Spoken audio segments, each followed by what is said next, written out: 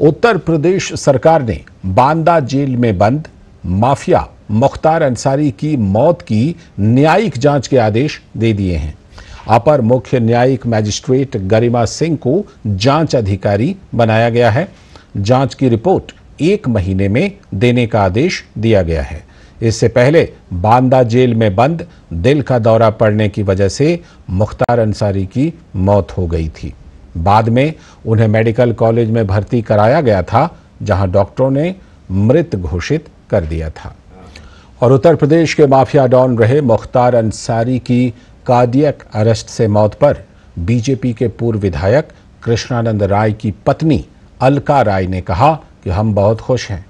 बाबा की कृपा है। ये भगवान का न्याय है। विपक्ष कुछ भी कह सकता है। कोई फ़र्क नहीं पड़ता। मुख्तार की मौत के बाद बीजेपी के दिवंगत विधायक कृष्णानंद राय की पत्नी और बेटे ने काशी विश्वनाथ मंदिर के दर्शन किए। तो समाजवादी पार्टी ने भी मुख्तार अंसारी की मौत पर कुछ सवाल खड़े किए हैं और कहा है कि सुप्रीम कोर्ट के न्यायाधीश की निगरानी में जाँच होनी चाहिए। अखिलेश यादव ने कहा, न्यायिक प्रक्रिया से लोगों का विश्वास नहीं उठना चाहिए।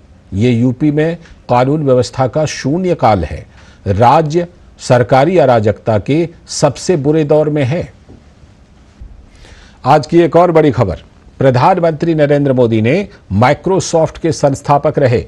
बिल गेट्स के साथ अपने आवास पर कई मुद्दों पर बातचीत की। इस बातचीत में प्रौद्योगिकी, स्वास्थ्य, जलवायु परिवर्तन समेत अनेक मुद्दों पर चर्चा हुई। प्रधानमंत्री ने कहा कि सभी के लिए प्रौद्योगिकी की उपलब्धता को भारत ने सुनिश्चित किया है।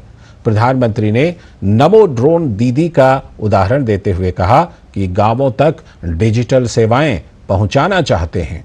जैसे ही घड़ी का काटा दोपहर ढाई पे आए, बबीता जी का दिल सास बहू साजिश के लिए मचल जाए। और ये है इनकी बहू। पूरे दिन ऑफ़िस की टेंशन हो जाए गॉन जब ये करें अपना फेवरेट शो फ्री टाइम पे ऑन इनकी तरह, आप भी देखिए अपना फेवरेट शो अपने टाइम पर. और डाउनलोड कीजिए एबीपी लाइव ऐप अपने स्मार्ट टीवी पर.